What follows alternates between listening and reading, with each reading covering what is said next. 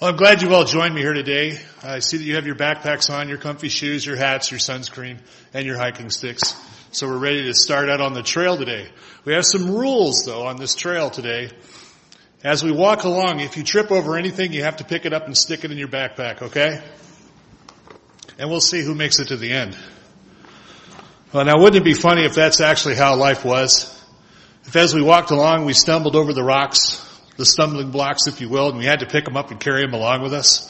Well, that would just be crazy, wouldn't it? If we actually had to do that on a hike. And yet how many of us try to do that in our daily lives? We pick up the stumbling blocks that cause us to fail and we carry them with us. Guilt is something, basically it's an anxiety, it's a feeling that we have when we feel that we've done something wrong.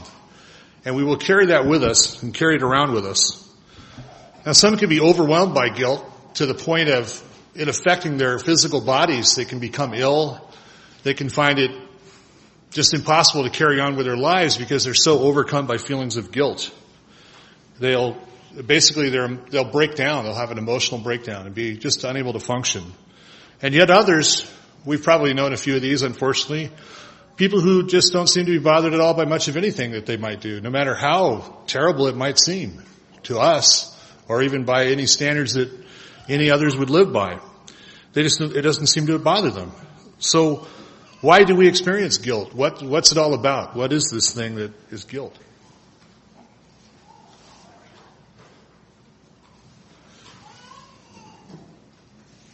The idea of hiking got my nose running, so excuse me. You know, why do we experience this guilt? Well, to start with, it's basically developed in our childhood you know, our families have certain values. Don't do this, do do that. And whether or not those are verbalized or merely as a result of the actions of our parents or those around us or, or the society we live in, those things get ingrained into us. Those feelings of good and bad, of good and evil, of right and wrong, they become a part of who we are just naturally, no matter what we do you know, if our parents approve of something, then, well, that's a good thing, and so we want to do that again. If they disapprove, then, oh, we don't want to do that again. And there's no real, we're not applying any measurement to whatever those things are, just the only measure is how people respond to them, and we learn from those things what is good and what is bad. And sometimes, unfortunately, things that aren't even our own fault, we feel guilty for. We'll hear of, in cases of, unfortunately, of abuse, where the one who is abused feels guilty for being abused. So, where do those feelings come from? Well, they come from our environment. We can be manipulated by advertisements to feel guilty. Husbands and wives want to buy expensive things they can't afford because, well, every kiss begins with Kay, after all. You know, eh, you see the ads on the on the TV for those hungry kids, and oh, the guilt just overwhelms you, and you write a big check. It's it's something we live with all the time. Today, in this sermon titled Leaving Guilt Behind, I'd like to examine the source of guilt and how we can grow from it and move beyond it. This is based on several articles that I picked up on UCG.org when I looked at repentance and guilt. So the question is who decides what's right and wrong? Well, again, as we were talking about guilt and where it came from, uh, guilt is basically a function of our conscience.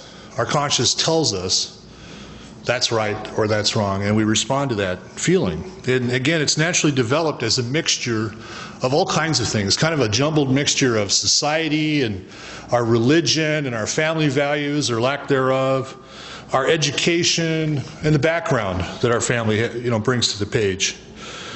What we really need though, instead of this confusing mix of social pressures or whatever you want to call them, what we really need is an absolute, don't we? We need to know where we are. What is right and what is wrong? Because if we're feeling guilty about doing right things, well, that's kind of silly. And if we're not feeling guilty about doing wrong things, then there's a problem. So we really need this definition. A lot of the people in the world actually use the Bible. And if you'll turn to John chapter 8 with me, let's look at one of the areas where they look at to as a definition of right and wrong. And let's see how they how they apply it. In John 8, some of you already know, is we'll find the story of the woman caught in adultery. And if you start, we'll, we'll go to chapter three, or I'm sorry, verse three, chapter of chapter eight of John. And the scribes and Pharisees brought to him a woman taken in adultery, and they set her in the midst.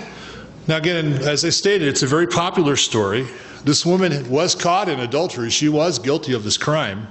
The Ten Commandments condemn the sin very clearly, yes. I think we'd all agree with that, particularly here in this room. And these men, according to the standards of their society, felt they had were within their rights to stone her for her adultery. It's interesting that no mention of the man caught in adultery, but they had this woman, they'd caught her, and they were going to make an example out of her. And Jesus Christ saw an opportunity to teach them something. And he said to them in verse 7 He who is without sin among you, let him throw a stone at her first. And they all disappeared because they were convicted by their own consciences of their own guilt of the sin. Now, the rest of the world, popular Christianity stops here. They just take this and say, well, hey, you know, apparently there are no standards. So she didn't need to be punished. You know, and so there's nothing right or wrong. And what that's what they try to see there. And how often has some have some very terrible things been basically approved by this, by looking at it this way. You know, well, oh, I was caught in adultery, but that's you know you can't punish me for that because it's there's no standards. You know, Christ said you shouldn't throw any stones at anybody. Well, what about theft or cheating or lying? Well, all kinds of things have been excused by just stopping there. And that reasoning basically says that God's forgiveness erases guilt and all the standards of right and wrong. No standards, no sin, no judging. I feel good about myself. Do you feel good about yourself? Because that's great. No standards at all. I mean, we can get away with anything we want. And they absolutely ignore Jesus Christ's last words to the woman. Jesus Christ taught standards of right and wrong. Right here, verse 11. What does he say? Basically, he says, do right and stop doing wrong which means there's a definition of right and wrong. She knew what it was. Jesus Christ knew what it was. And he was telling her, stop doing that and do what's right. And of course, I'm paraphrasing. God's forgiveness does not erase our responsibility to know the difference between good and evil. Absolutely not. We must know the difference and we must do the good. God's forgiveness can cleanse our minds of wrong thinking so that we can learn to think correctly, so that we can learn to act correctly, and we can have a better life. So, if you want a better life, what do you do? do you, does anybody here want a better life? Nobody? Okay, never mind. Oh, well, there's a couple. A couple people want a better life. Okay, your be- way to get a better life stop doing wrong and do right. Accept the fact that you've committed crimes against God. Accept that fact and that you're guilty of them. You know, they go to prison sometimes and they talk to people, why are you here? Well, the, you know, the judge had it in for me, the cop, he was dirty. It's always somebody else's fault. And all of us want to make it somebody else's fault. But when we accept the fact that we're individually guilty of our sins, that we are guilty not of so much of hurting other people, but of actually hurting God, of basically spitting on God and harming Him if we will accept that fact and recognize it and come to Him and ask for His forgiveness, then we've made the first most important steps towards being healed, towards having a better life. We need God's forgiveness to have a better life, to live better. And yet, instead, what so many people do is they plea bargain with God. You know, oh, yeah, I've, sure, I've done a few wrong things, but I'm not as bad as that guy over there. I mean, I haven't done what he did or she did. I'm not so bad, right? You know, it's, it's not so bad. What's the flaw in that thinking? Well, here's the thought. If you're ever ca- commit, caught for a crime here, go before the judge and just say, hey, I didn't murder anybody. You know, it's just armed robbery, no big deal. Come on, let me off. That's not going to happen. You know, you're still guilty of a crime. But we need, if we go to God and we ask for, we could, we tell Him, I did this. I'm sorry, and I don't want to do this anymore. Please help me to change. God will provide that, that help. You know, we have no defense for our behaviors. We are guilty, and we are subject to that penalty. Without God's forgiveness, we would be subject to that penalty, which is death. And again, we have to ask God for forgiveness in order to have forgiveness. We must admit our guilt, admit to breaking His standards, which is what repentance is. Now, once we've done that, we need to leave the guilt behind. You don't have to carry it. You know, God's not some big scorekeeper with a big card, and over here he goes, okay, that was pretty good. Let me mark one down for on the good side. And, oh, yeah, wasn't so bad. Well, but that's, you know, it's like it's not the scale. We've seen the scales of justice where they balance out good and evil, you know. Oh, you've got a lot of good stuff over here, so it overbalances the bad stuff. That's not what God's doing. He's not keeping track. He's not racking it up on some eternal scorecard that isn't going to go away, that's always going to be there for you. The actual, actually, the record of, that, of those sins is completely erased and destroyed. It doesn't exist anymore. When we confess our sins, when we repent and we ask for God's forgiveness. As it says in 1 John chapter 1 verse 9, if we confess our sins, he is faithful and just to forgive us our sins and to cleanse us from all unrighteousness. 1 John 1 9. You know, good deeds, it doesn't matter all, what we do that's good. It's not going to repay God for forgiveness or for cleansing from guilt. Those are just things we have to do. That's a requirement of our service, of our calling, to do the best that we can. And we shouldn't expect to get patted on, you know, pat on the back for being good kids because that's our responsibility. That's what we're supposed to do. God said, Hey, I will forgive you. I just expect you to behave yourself. Oh, hey, I'm so good. Give me a lollipop. No, come on. This is what you're expected to do. This is a part of being in the family of God. You are supposed to do what's, what is good and what's best. Now, again, we get back to guilt. It's normal to feel guilt. And it's absolutely true that the pain of past things will carry, will go with us. We'll feel the pain eh, you know, if we don't, maybe there's something a little bit wrong with us, but we don't want to hold on to that guilt as, as a way of punishing ourselves. It's not to hold us down or to press us into the ground or to or make us feel inferior or, or to develop bitterness about how, unfortunately, how terrible we are. I'm so bad, I'll never be any good. Woe is me. I'm just so horrible. How could God forgive me? And yet, if we repent, if we truly put it in God's hands, we have no need to feel that guilt. Well, unless we sin again. And then we can repent. We can turn back to Him again. Because God's mercy is infinite. He is willing to apply that sacrifice of Christ so long as we are trying so as hard as we can. We're doing the best that we can. If we're we don't want certainly don't want to rush into sin so that we can have God's mercy applied to us. And I don't have to go into where the Bible teaches all that, but we do want to do the best that we can. And when we slip, when we trip over the rock, acknowledge that we tripped and move on past the rock. Let's turn now to Hebrews chapter 10, verse 22. It tells us how we should feel as we come to God, as we are coming to Him with our, our sins, as we're, we're admitting them to Him. Hebrews chapter 10, and we'll start in verse 22. This is what should be our focus. Hebrews 10 22 says, Let us draw near with a true heart, in full assurance of faith, having our hearts sprinkled from an evil conscience and our bodies washed with pure water.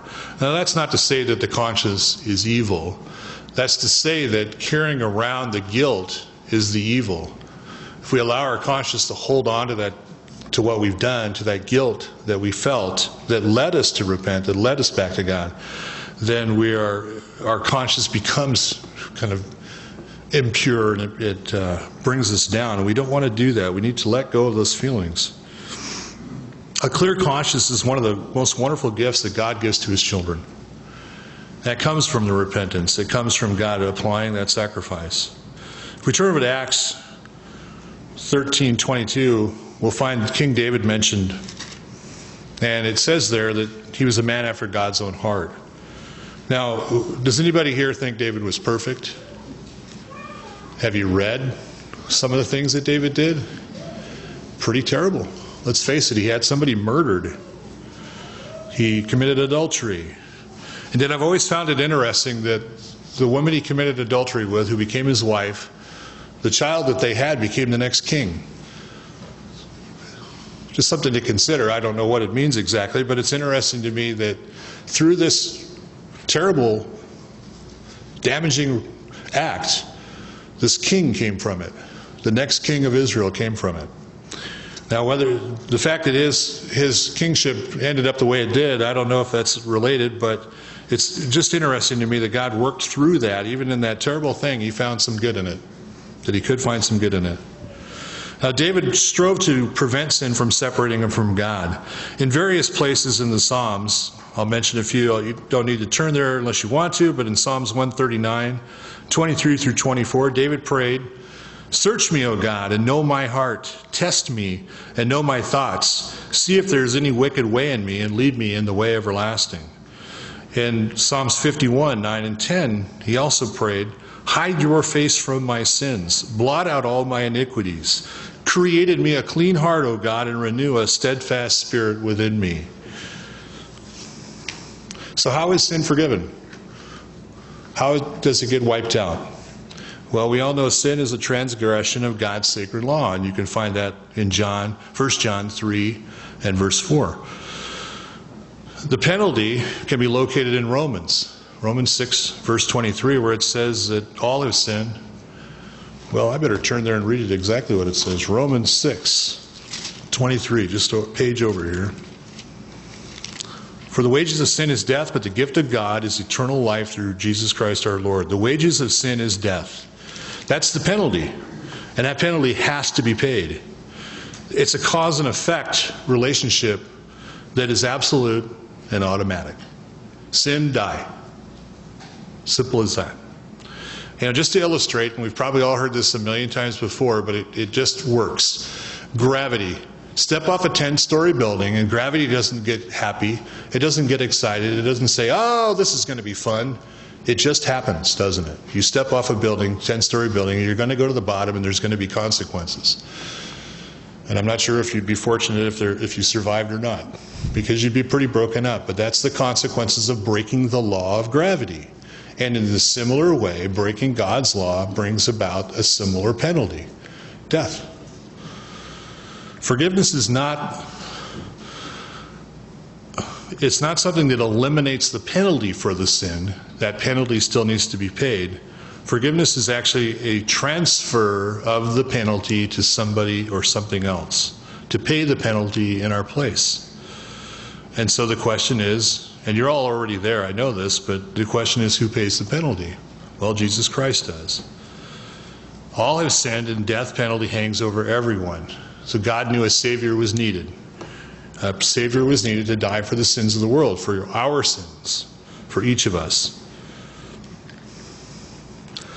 As Peter says in 1 Peter 1, in verses 18 through 20, the NIV perhaps puts it very clearly, where it states, For you know that it is not with perishable things, such as silver or gold, that you were redeemed, but with the precious blood of Christ, a lamb without blemish or defect. He was chosen before the creation of the world, but was revealed in these last times for your sake.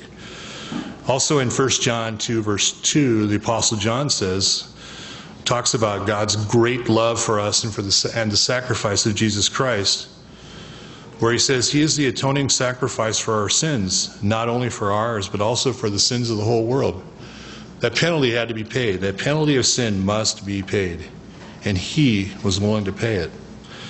As it says in 1 John 4 9 through 10, this is how God showed his love among us. He sent his one and only Son into the world that we might live through him. This is love, not that we loved God, but that he loved us and sent his Son as an atoning sacrifice for our sins. This is an incredible truth. And it's restated in John 3:16, and we've all heard this before, but it's it's amazing and we need to understand it we need to internalize it that where it says god so loved the world that he gave his only begotten son that whoever believes in him should not perish but have everlasting life everlasting life freedom from sin it's just amazing uh, that god loved us while we were still sinners while we were still disgusting and buried in abominations, the abominations of our sins. He, he loved us and reached out to us and provided for us. We were under a death penalty, and he called, reached out to us with conversion.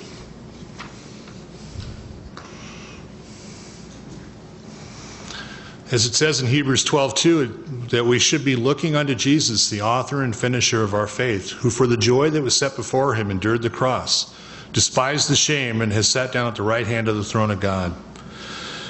If you look at Psalms 22, you can see some of the feelings that Christ experienced as and the anguish he felt as he was enduring his betrayal and death. And Galatians 3:13 tells us that he willingly accepted that curse the death penalty for all of us, the one that was required of uh, would have been required of us if he hadn't taken it on himself. Where it says he's became a curse for us. Christ's sacrifice was so complete that no sin ever committed bigger is too big or too small for God to forgive us. Paul spoke of himself as the chief of sinners in 1 Timothy 1. And yet look how powerful he used Paul after his conversion. King David saw God's mercy as endless, filling the earth. You can read that in Psalms 119 and verse 64. The life and death and resurrection of Jesus Christ, the Son of God, is central to the, to the Bible's message of salvation. The fact that our penalty can be paid, that our guilt can be washed away. Now, out in the world and the Christianity out there, they ignore all that. It's a kind of a feel good. You know, if you feel good about yourself, then they've figured it all out. You know, that's how that's how they want it to be. You just need to feel good about yourself and not feel too bad about anything at all. Everything is fine.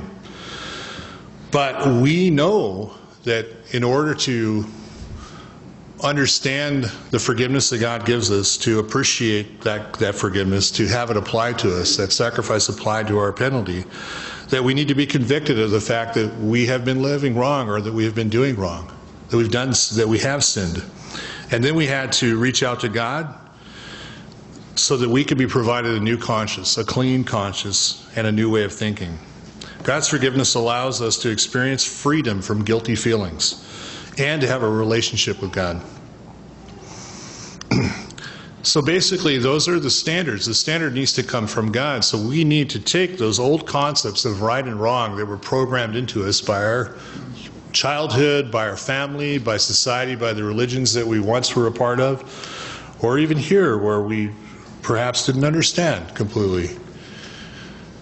We need to set aside those things and look to the Bible and look to the truth of God to as our standards to live by. Perhaps one of the best stories that we could look at to consider this is in Luke 15, and it's the parable of the prodigal son. Here's, here's a story of a young man who left home, wasted his entire inheritance on booze and wild women, had him a good time. You could probably write a couple of country songs about it, you know. Partying without any recognition of the consequences. And he ended up so hungry, so alone, that he would have eaten out of the trough with the pigs. Eee, that's pretty bad, pretty low. And he realized as he thought back on his early life, all the things that he'd lost, all the money, he'd lost his family, he'd abandoned his friends, and he'd probably worst of all, he'd abandoned his self respect. He just just trashed everything, just destroyed everything. And he thought, what am I going to do? You know, my, the servants of my dad eat pretty well. I'll go back there and see if I can hire on. You know, I'm not worthy of being a son, but I'll, but I'll go back and stop this. I've just got to stop doing this and I've got to try to do things differently. And what happened? Well, he ran it, he his father saw him, and we, you know, we all know the story, but in, in, verse 21, we see his humble realization as he comes to his father. He says, I've sinned against heaven and in your sight. I'm no longer worthy to be called your son. What a humble attitude, a repentant attitude, one that recognized how terrible the things were that he did. And he had every reason to expect his father to be angry, to be wrathful, to take it out on him. But his father was thrilled. You're home You've given up on your self destructive ways and you came home. What, how wonderful. I'm so glad you're here. Let's have a party. And that's how God looks at each one of us. He says, Hey, you've recognized what you've done wrong. That's great. Come on. It's all okay. Everything's fine. You know, we need to bury the past. We need to let go. No matter how deep the pit or how hopeless or dark life may seem, how many wrong deeds we think we've racked up on the big list, he just, we just need to admit our mistakes to God and accept His forgiveness and the blessings. Let go of the past, bury it. God doesn't have any association when He looks at us with our old sins, He puts it all behind us. They were buried. First in our baptism and then in the, in the sacrifice of Christ. Do we need to go dig them up? Well, that would be grave robbery. Don't be a grave robber. You know, repentance is not about continuing to worry about past sins. That's penance. God doesn't expect us to beat ourselves up constantly about things we've done in the past that we've repented of, that we turned from, that He has forgiven us of. We need to let go of them. We don't need to remind Him of our past sins by continuing to dwell on them, by continuing to mull them over. He wants us to trust that He has forgiven us and has forgotten those things. We should learn from the past, but we need to let go and leave it in the past. Imagine we're back on that hike and you've got your backpack full of rocks and you're looking at the past. You're walking backwards along that windy trail with those cliffs and steep drop offs and what have you. But you're not looking ahead, you're looking behind. How long do you think it'll be before you take before gravity takes over? Well, it's maybe it's an imperfect analogy, but that's our lives. That's what we need to do. We need to turn around, drop the rocks, and move forward. Don't be weighed down by them. Romans 6 4 says we are to walk in newness of life. If we do this, in God's eyes, we're a new person, as though we had never sinned. We're clean. And it's important that we see ourselves like this and focus on the future. Perhaps one of the best summations of that thought is can be found in Philippians 3, verse 13 and 14. One thing I do, forgetting those things which are behind and reaching forward to those things which are ahead. I press toward the goal for the prize of the upward call of God in Christ Jesus. We have to realize how complete the forgiveness is that is possible through Christ's perfect sacrifice. We need to look ahead and maintain that right course. Not walk backwards, but look ahead. Don't try to defy gravity. Certainly, we, as we conclude this message, we need to ask God for help in turning our life around. If you're struggling with guilty feelings, ask God to help you understand what you should really feel guilty about. And then ask for His forgiveness to remove the burden of that guilt. Christ proclaimed, Come to me, all you who labor and are heavy laden, and I will give you rest. Take my yoke upon you and learn from me, for I am gentle and lowly in heart, and you will find rest for your lives. For my yoke is easy and my burden is light. That's from Matthew 11, verse 28 through 30. The Apostle Paul perhaps captured what it really means to be a Christian when he wrote in Romans 12, 2, do not be conformed to this world, but be transformed by the renewing of your mind. If you want to go through life living by the standards of it, you know, it feels good, do it, well, then maybe you shouldn't be hearing this message. But if you're sick and tired of making the same mistakes, your life can change. If you long for deep spiritual fulfillment, then God wants to transform your life, and He can transform our lives. We just need to go home and take our place as His child. And He's just waiting for us to start heading towards Him.